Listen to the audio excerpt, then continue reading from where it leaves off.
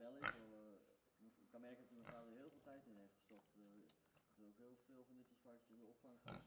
Nou, daar kon je helemaal niks mee hoor. Waren bang of agressief of... Uh, ze zijn natuurlijk nooit bedoeld als huisdier, hè? Nee. Het is puur als proefdier. Ja. Uh, en uh, we hebben heel wat gestoorde gevallen gehad van deze. Oh, die heeft echt gewoon dat meegemaakt. Ja. Nee, nee, maar gewoon het, het, het karakter van de dieren is een beetje.